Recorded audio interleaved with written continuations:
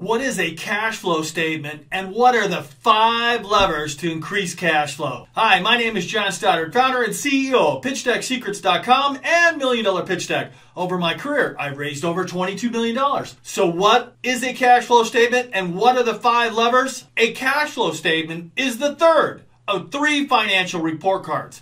Cash flow statement provides a summary of receipts and payments. This is money coming in and money going out. Your cash flow can come from three different sources. It could be operating cash, which are sales, accounts receivable, expenses, or accounts payable. It could be investment cash. This is generated from selling or buying assets.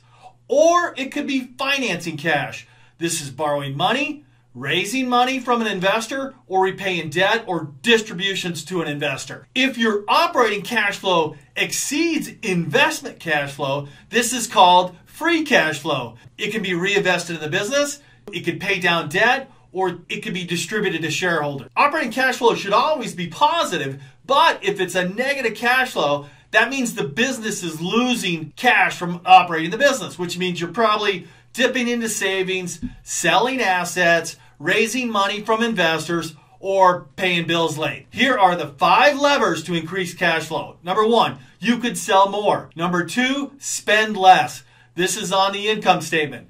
Number three, reduce accounts receivable days. Number four, reduce inventory days. And number five, increase accounts payable days. These are seen through the balance sheet. These are the five levers to increase cash flow. You need help raising capital? Take a shortcut. Get my free training at milliondollarpitchdeck.com or my free book at pitchdecksecrets.com. Thanks and cheers.